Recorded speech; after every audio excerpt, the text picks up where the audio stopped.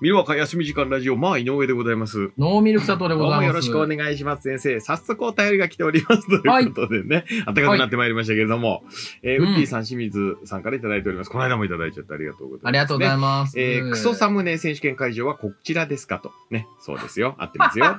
はい。えーサムネの提案です。えー J1 全チームのゲームモデルを定食に例えてみたでお願いします。ということで。あこれは先生、これやってもらいますよ。これもね、アドリブでも何でもやってもらいますということで今日は提案なんですけれども、え J1 全部で18チームあるわけですよね。手元に私はね、あの、アプリ、くじ引きアプリをまあ今日用意してます。そして順位表も用意しておりますので、1から18の番号が1つ出ますんで、時間の許す限り15分、えうん。えー、手元に引いた順位のえチームを定食で2人で例えていこうじゃないかということでござやりいまして。ましょう。ええあの、その内容に関しては先生、ね、先生が言ってくれないと何もできませんので、私ね。よろしくお願いしますね。よろしくお願いします。J1 ですからね、全部まあまあまあ上定食でございますからい。や、そりゃそうえだよ。えよろしくお願いします。それではまず15分ですからね、急いでいきましょう。できできできできでまずドン、こちら出た。13番、13位のチームエスパルス。清水エスパルスさん。はい。何定食でございましょうかね、これね。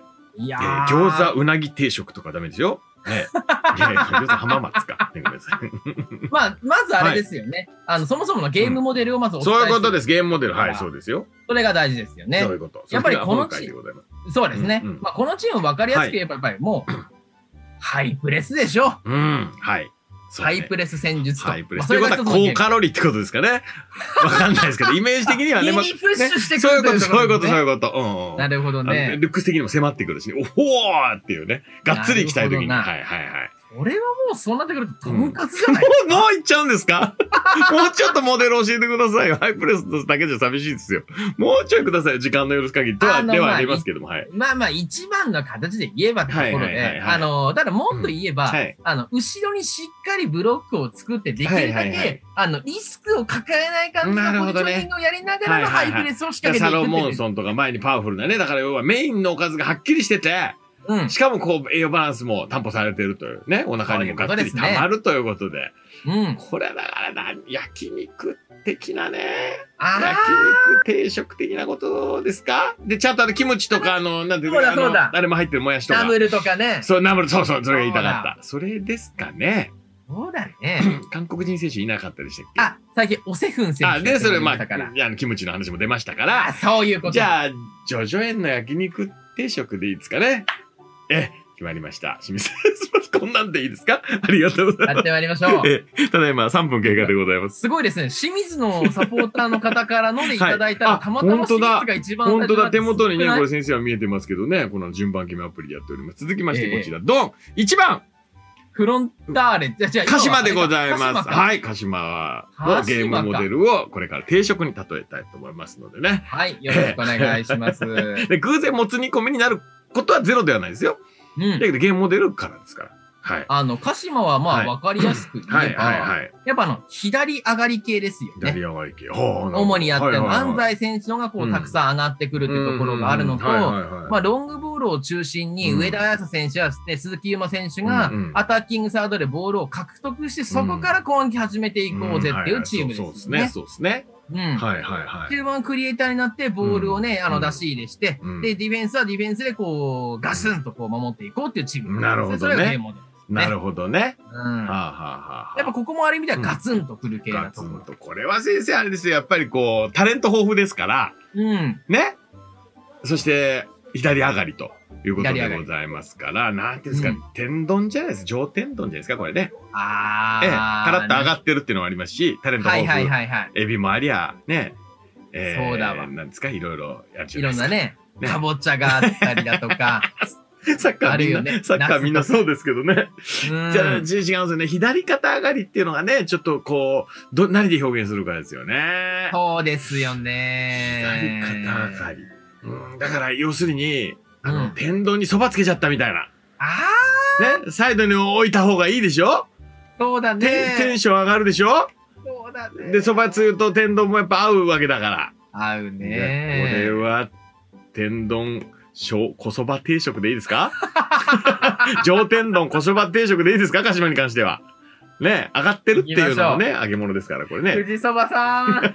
富士そばじゃ、もうちょっといいとこ、あ、富士そばもいいですよ。はいはい、いいと思います。はい、決まりました。ということで。ありがとうございます。5分経過。あ、これ巻いてますよ。いけます行きましょう。こよ。れ全チームいけるかもしれない。ドン。うん。7。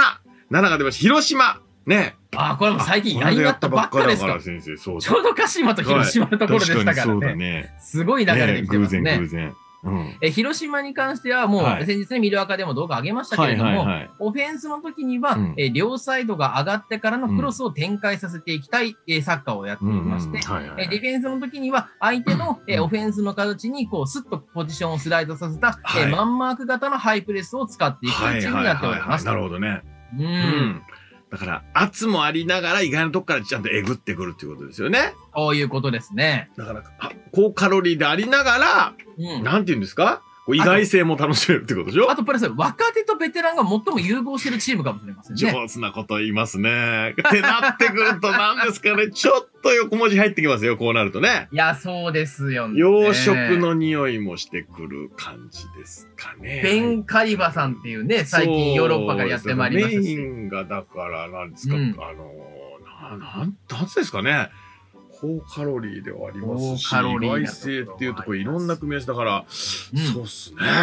うボリん。ュームもあるけど、なんかアボカドも使ってくるぞみたいな。ねえ。確かにカね。ツオのたたき定食みたいな。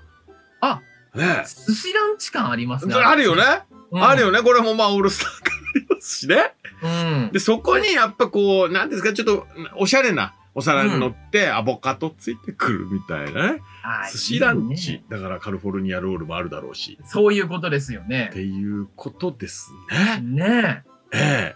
ちょっとおしゃれえ。なえ寿司ランチ。え。もしもなんでも言えるもうちょっとね、うまく言いたかったんですけどね。でもほら、お寿司って、その、なんていうの、寿司ランチとかまで広げるとよ、はいあのー、要はお台場とかにあるようなね、うんなんていうんですか？だからこう、おあお寿司の食材にこれ使っちゃうのみたいな。そういう楽しさもあるよっていう。で、どんどん出てくるし、そうだね選び放題だよって、どんどん出てくるっていう。うん、だからこれお寿司だ、本当に。お寿司だお。寿司ランチでございます。定食で例えたんですかね、我々ね。まあ、ある意味、ある意味ランチでいいんじゃない？ですか。定食はある意味、そういうね。ことですね。うんありがとうございますね。3チーム終わりました。7分30秒。いいペースですよ。いいペースです。続きましてこちらす。です。ドン。8。8。セレッソ。セレッソ大阪ですね。これすごい芸ですよ、先生。僕は大したことないけど。先生すごい芸ですよ、これ。はい。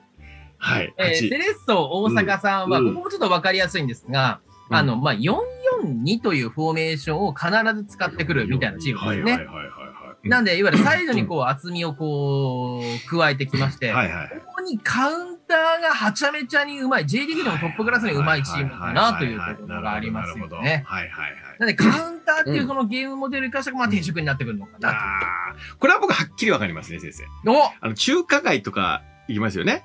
で、ええちょっとあの、食べ放題だよっつっていっぱいあるじゃないですか。あるねで、入ったらあの、小皿料理いっぱい頼めるね。うん時間内であればいくらでも頼めるデザートまで。ね。はい。それを442に並べたと今考えてください。ね。何を手前に置きますかってことなんですよ。春巻きもあるね。あの何、春巻きもある最後のあの、なんとか団子、ごま団子まで。まだね。そしてあの、杏仁豆腐までありますよ。ある。だけど、いろんなもの頼めるチャーハンもありますよ。ちょっとうん手前に置くのは何何かって話ですよ。想像してください。はい。ねはい。なんでしょう？いやー、手前に置くのはチンジャオロースとか食べたいけどね。いやーわかりますわかりますよわかりますよわかりますよ。エビチリもそうでしょ？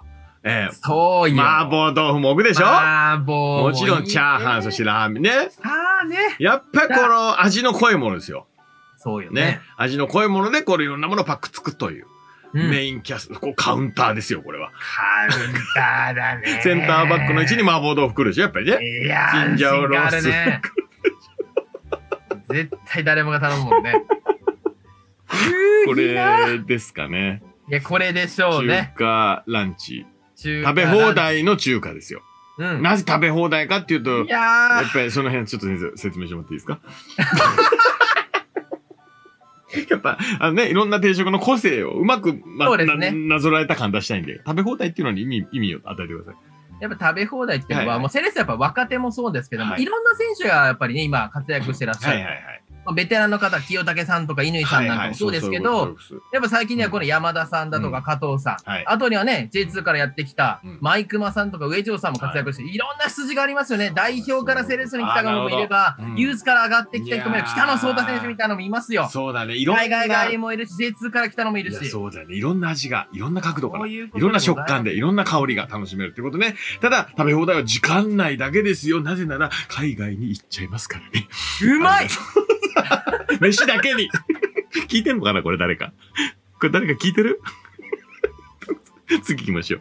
10分。いいよ、あと5分。あと2時分ぐらいいける先生。ドン。10ぐらいいけますね10、10です。10はさ、えー、京都。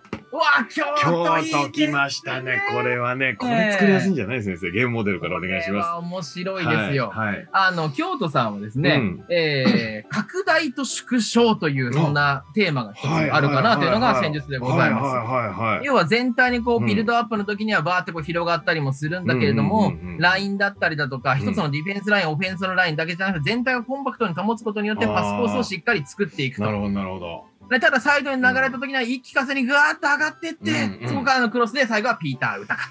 なそんな流れがありますよねですね拡大と縮小。これはね、うん先生、はい。お任せいたします。いや、先生のちょっとね、なんか発起も欲しいなと思いまして。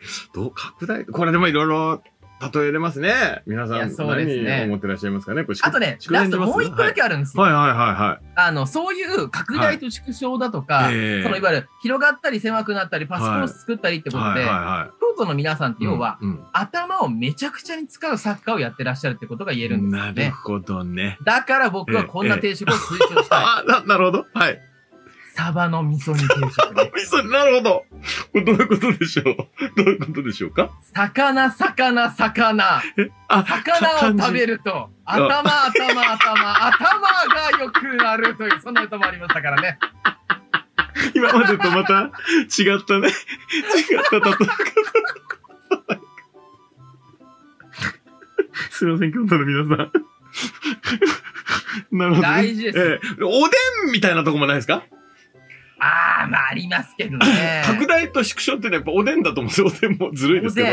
オールスター。ねオールスター感ありますよね。あの、おつゆがね、やっぱ密度濃くなったり、薄くなったり、どっちも美味しいじゃないですか。そこそうだね。に、あの、ピリリとしたからしが乗ってる、これスパイスですよね。これ歌かなのかな、うか。これがあの、効きすぎても、つるんときていいし。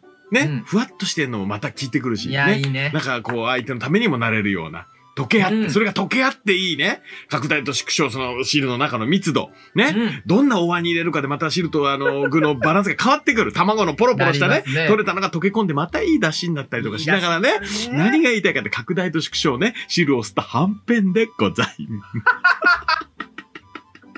す。の、サバのね、味噌に寄せってことですね。いや、そういうことおでん定食、おでんって。サバの味噌煮を乗せてなるほど。のケケニア風ってことでいいですか？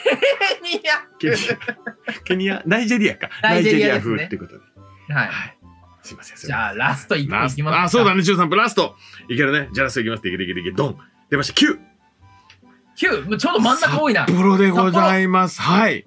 まあ、ここはもう分かりやすくですはい。ね。はい。もう、マンツーマンはい。です。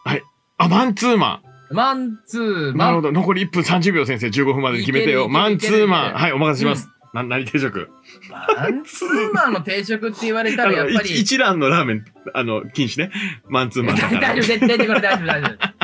いや、はいやっぱマンツーマンって言われたら、はいはいある意味では寄り添うってイメージもありますよね、そういうことか。我々のはい定食と言ったら、まあ一番寄り添ってくる定食あれですよ。寄り添ってくれて、はい。